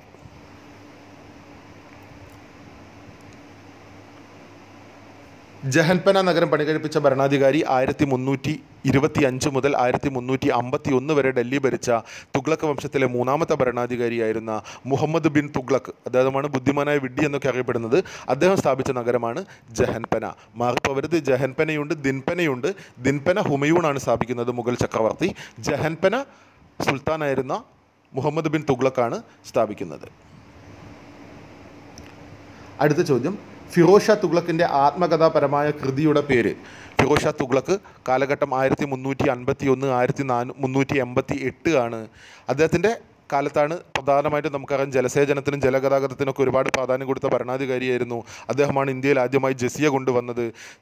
ഖലീഫയുടെ പ്രതി പ്രതിപുരുഷൻ എന്ന പേരോടുകൂടെ ഭരണം നടത്തിയതൊക്കെ ഫിറോഷ തുഗ്ലക്കായിരുന്നു ഈ ഫിറോഷ തുഗ്ലക്കിന്റെ ആത്മകഥപരമായ കൃതിയാണ്. കൃതി എന്ന് പറഞ്ഞാൽ മുപ്പത്തിയാറ് വരികൾ മാത്രമുള്ളൊരു കവിതയാണ്. അതാണ് ഫത്തു ഹത്ത് ഫിറോഷാഹി.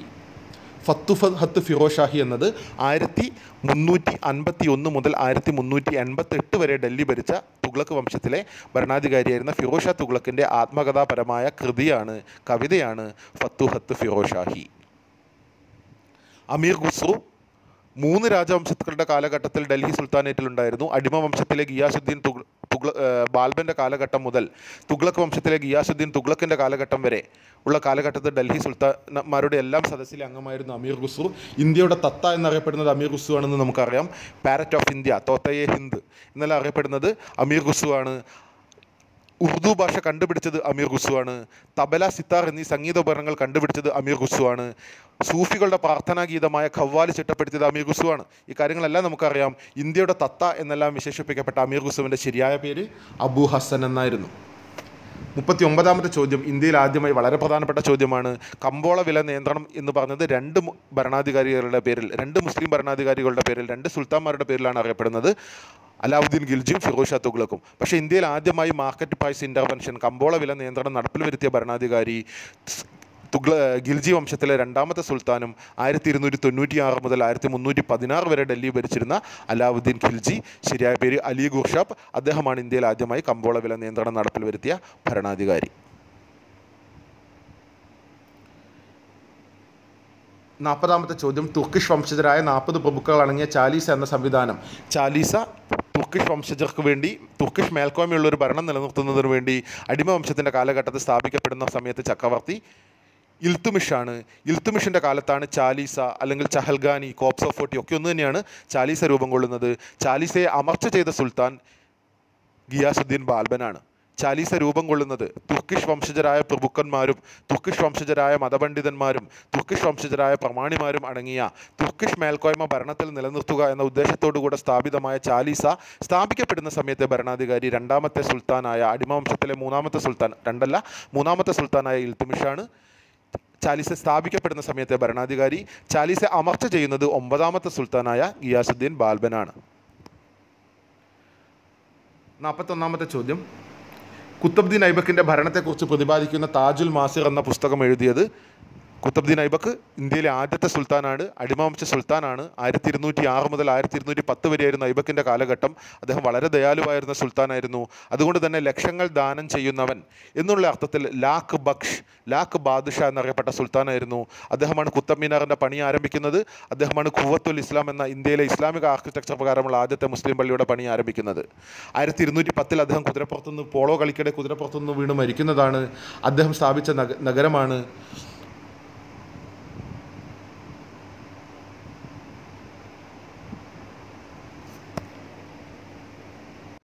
ദിൻക ജോൺഫറ അദ്ദേഹത്തെക്കുറിച്ച് എഴുതപ്പെട്ട അദ്ദേഹത്തിന്റെ ജീവചരിത്രം എഴുതിയത് അദ്ദേഹത്തിന്റെ കൊട്ടാരത്തിലെ സദസ്യൻ കൂടിയായിരുന്ന ഹസൻ നിസാമിയാണ്. കുത്തബ്ദിൻ ഐബക്കിന്റെ കാലഘട്ടത്തെ പറ്റിയുള്ള വിവരങ്ങൾ ലഭിക്കുന്ന ഹസൻ നിസാമി എഴുതിയ പുസ്തകമാണ് താജുൽ മാസിർ. ആയിരത്തി ഇരുന്നൂറ്റാറ് ഇരുന്നൂറ്റി പത്ത് കാലഘട്ടം ഇരുന്നൂറ്റി പത്തിൽ പോളോ കളിക്കിടെ കുതിരപ്പുറത്ത് വീണാണ് കുത്തബ്ദിൻ ഐബക്ക് മരണപ്പെടുന്നത്. നാൽപ്പത്തിരണ്ട് മുഹമ്മദ് ഗസ്നിയുടെ കാലഘട്ടത്തെ പറ്റിയുള്ള വിവരങ്ങൾ ലഭിക്കുന്ന താരീഖുൽ ഹിന്ദ് എന്ന ഗ്രന്ഥം രചിച്ചതാര് മുഹമ്മദ് ഗസ്നി. നമുക്കറിയാം പതിനേഴ് തവണ ഇന്ത്യ ആക്രമിച്ച വ്യക്തിയാണ്. അദ്ദേഹത്തിന്റെ ആദ്യ ഇന്ത്യൻ ആക്രമണം ഡി ആയിരത്തിലായിരുന്നു. അവസാന ഇന്ത്യൻ ആക്രമണം ആയിരത്തി ഇരുപത്തിയേഴിലായിരുന്നൊക്കെ നമ്മൾ പഠിച്ചിട്ടുണ്ട്. അദ്ദേഹത്തിന്റെ സദസ്സിൽ ചരിത്രകാരനായിരുന്നു അൽബറൂണി. അൽബറൂണിയാണ് താരിഖ് ഉൽ ഹിന്ദ്. താരിഖ് എന്ന് പറഞ്ഞ ചരിത്രം ഹിന്ദ് എന്ന് ഉദ്ദേശിക്കുന്നത് ഹിന്ദുസ്ഥാൻ ഇന്ത്യ ആണ്. ഇന്ത്യയുടെ ചരിത്രം എന്ന അർത്ഥം വരുന്ന താരിഖ് ഉൽ ഹിന്ദ് എന്ന പുസ്തകം എഴുതിയത് അൽബറൂണിയാണ്. അദ്ദേഹം മുഹമ്മദ് ഗസ്നിയുടെ സദസ്സിലെ അംഗമായിരുന്നു. പക്ഷേ ഈ ഭാഗത്തേക്കാൾ നമുക്ക് പ്രധാനം അദ്ദേഹത്തിന്റെ സദസ്സിൽ മുഹമ്മദ് ഗസ്നിയുടെ സദസ്സിൽ ഉണ്ടായിരുന്ന മറ്റൊരു പണ്ഡിതനാണ് നമ്മൾ കൂടുതലായിട്ട് അറിയേണ്ടത് ഫിർദൌസി എന്ന പേർഷ്യൻ സാഹിത്യകാരൻ മുഹമ്മദ് ഗസ്നിയുടെ സദസ്സിലെ അംഗമായിരുന്നു. ഈ ഫിർദൌസിയാണ് പേർഷ്യൻ ഹോമർ അല്ലെങ്കിൽ കിഴക്കിന്റെ ഹോമർ എന്നൊക്കെ അറിയപ്പെടുന്നത് ഫിർദൌസിയാണ്. ഫിർദൗസി എഴുതിയ പുസ്തകമാണ് ഷനാമ. ഷാ ചക്രവർത്തി നാമ ചരിത്രം. ചക്രവർത്തിമാരുടെ ചരിത്രം ചക്രവർത്തിമാരുടെ കഥ എന്ന് പറയുന്ന ഷനാമ എഴുതിയത് ഗസ്നിയുടെ സദസ്സിലെ അംഗമായിരുന്ന ഫിർദൌസിയാണ്. പക്ഷേ ഗസ്നിയുടെ സദസ്സിലുണ്ടായിരുന്ന ഹിസ്റ്റോറിയൻ എഴുതിയ പുസ്തകമാണ് ഗസ്നിയുടെ സദസ്സിലുണ്ടായിരുന്ന ചരിത്രകാരനായിരുന്ന അൽബറൂണി എഴുതിയ പുസ്തകമാണ് താരിഖുൽ ഹിന്ദ് എന്ന ചരിത്രപരമായ പുസ്തകം. ഒന്നാം തറയൻ യുദ്ധം നടന്ന വർഷം ഇന്ത്യ ആക്രമിച്ച അറബ് വംശജനായ മുഹമ്മദ് ഗോറിയും ഇന്ത്യയിലെ ഡൽഹിയും അജ്മീറും ഭരിച്ചിരുന്ന രാജാവായ പൃഥ്വിരാജ് ചൗഹാനും തമ്മിൽ നടന്ന രണ്ട് യുദ്ധം ചരിത്രത്തിൽ വളരെ പ്രധാനമാണ്. ആയിരത്തി ഒരുന്നൂറ്റി തൊണ്ണൂറ്റി ഒന്നിൽ യുദ്ധം ചെയ്യുന്നത് മുഹമ്മദ് ഗോറിയും പൃഥ്വിരാജ് ചൗഹാനുമാണ്. ആ യുദ്ധം നടന്ന വർഷം ആയിരത്തി ഒരുന്നൂറ്റി തൊണ്ണൂറ്റി ഒന്നാണ് യുദ്ധം നടന്ന സ്ഥലം തറൈൻ ആണ്. തറൈൻ ഇന്ന് പ്രസന്റ് സ്റ്റേറ്റ് ഓഫ് ഹരിയാന തറൈന്റെ ഇന്നത്തെ പേര് താനേശ്വർ എന്നാണ്. കുരുക്ഷേത്ര ഡിസ്ട്രിക്ട് ഹരിയാന ആണ്. ആ യുദ്ധമാണ് ഒന്നാം തറൈൻ യുദ്ധം എന്നറിയപ്പെടുന്നത്. അപ്പോൾ ഒന്നാം തറൈൻ യുദ്ധത്തിൽ ഏറ്റുമുട്ടിയത് പൃഥ്വിരാജ് ചൗഹാനും മുഹമ്മദ് ഗോറിയും. ഒന്നാം തറൈൻ യുദ്ധം നടന്ന സ്ഥലം തറൈൻ. വർഷം ആണ് പ്രധാനം ആയിരത്തി ഒരുന്നൂറ്റി തൊണ്ണൂറ്റി ഒന്ന് തറൈൻ സ്ഥിതി ചെയ്യുന്ന പ്രസന്റ് ഡേ സ്റ്റേറ്റ് ഹരിയാന. അപ്പോൾ ഒന്നാം തറൈൻ യുദ്ധത്തിൽ നടന്ന വർഷം ആയിരത്തി ഒരുന്നൂറ്റി തൊണ്ണൂറ്റി ഒന്ന് തൊട്ടടുത്ത വർഷം നടന്ന യുദ്ധമാണ് ആയിരത്തി ഒരുന്നൂറ്റി തൊണ്ണൂറ്റി രണ്ടിൽ രണ്ടാം തറയൻ യുദ്ധം. രണ്ടാം തറയൻ യുദ്ധവും ഏറ്റുമുട്ടുന്നതും പൃഥ്വിരാജ് ചൗഹാനും മുഹമ്മദ് ഗോറിയും തമ്മിലാണ്. രണ്ടാം തറയൻ യുദ്ധവും നടന്ന സ്ഥലം തറയനാണ് രണ്ടാം തറയൻ യുദ്ധത്തിൽ വിജയിക്കുന്നത് മുഹമ്മദ് ഗോറിയും ഒന്നാം തറയൻ യുദ്ധത്തിൽ വിജയിക്കുന്നത് പൃഥ്വിരാജ് ചൗഹാനുമായിരുന്നു. വർഷമാണ് ഇവിടെ പ്രധാനമെന്ന് മനസ്സിലാക്കുക. കാശ്മീരിലെ ഇന്ത്യയിലെ സ്വർഗമെന്ന് വിശേഷിപ്പിച്ച മുഗൾ ഭരണാധികാരി ജഹാംഗീറാണ്. കാശ്മീരിനെ ഇന്ത്യയിലെ സ്വർഗമെന്ന് വിശേഷിപ്പിച്ചത് ജഹാംഗീറും. ഭൂമിയിൽ ഒരു സ്വർഗമുണ്ടെങ്കിൽ അത് ഇതാണ് ഇതാണ് ഇതാണ് എന്ന് കാശ്മീരിനെ വിശേഷിപ്പിച്ചത് ജവഹർലാൽ നെഹ്റുവുമാണ്. രണ്ട് വിശേഷണങ്ങളും തമ്മിൽ മാറിപ്പോകരുത് കാശ്മീരിനെ ഇന്ത്യയുടെ സ്വർഗം എന്ന് വിശേഷിപ്പിച്ചിരുന്നത് നാലാമത്തെ മുഗൾ ചക്രവർത്തിയായിരുന്ന ജഹാംഗീറാണ്.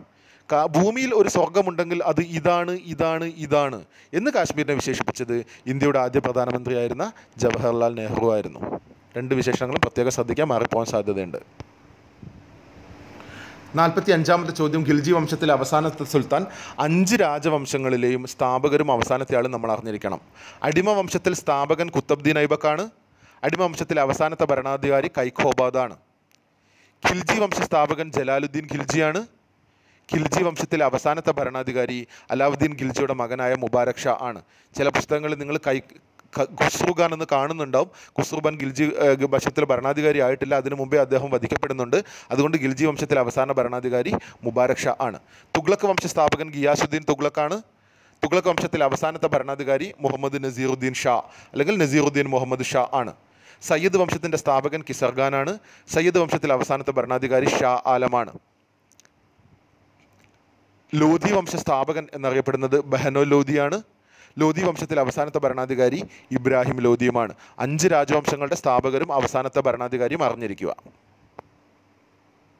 മധ്യകാല ഇന്ത്യയിലെ അശോകൻ എന്നെല്ലാം വിശേഷിപ്പിക്കപ്പെട്ടത് മഹാനായ മുഗൾ ചക്രവർത്തിയായിരുന്ന അക്ബറാണ് മധ്യകാല ഇന്ത്യയിലെ അശോകൻ എന്ന് വിശേഷിപ്പിക്കപ്പെട്ടത്.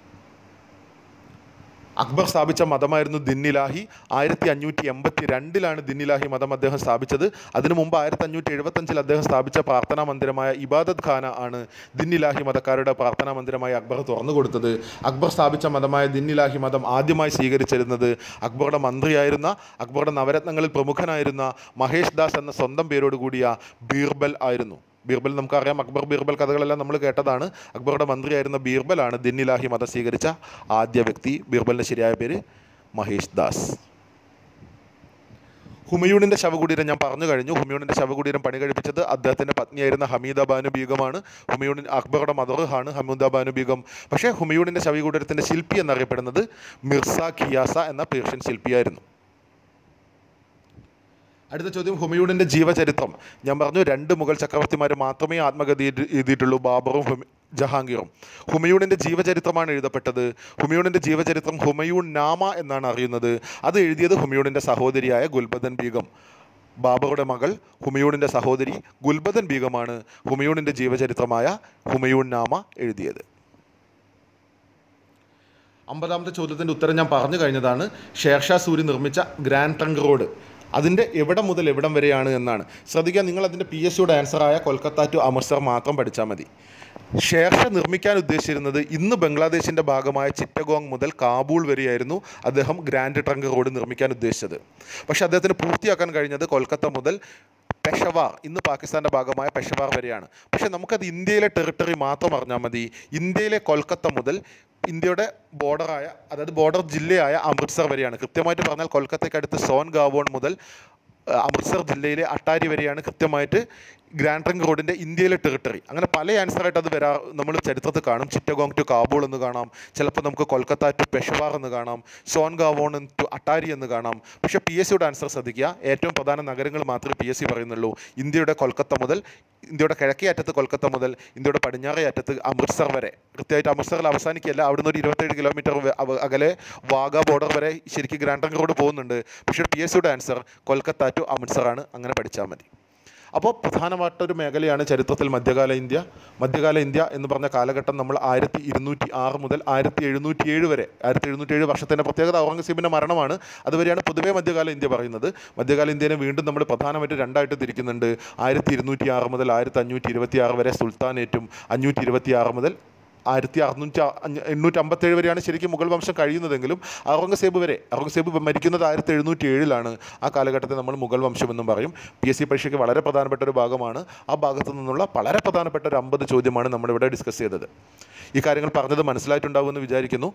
ഈ ക്ലാസ്സിനെ പറ്റി എന്തെങ്കിലും സംശയങ്ങൾ ഈ പറഞ്ഞ പോയിന്റിൽ എന്തെങ്കിലും സംശയങ്ങൾ ഉണ്ടെങ്കിൽ കമന്റുകളായിട്ട് ചോദിക്കുന്ന ചോദിക്കാവുന്നതാണ്. മാക്സിമം ക്ലാസ്സുകൾ സബ്സ്ക്രൈബ് ചെയ്യുക.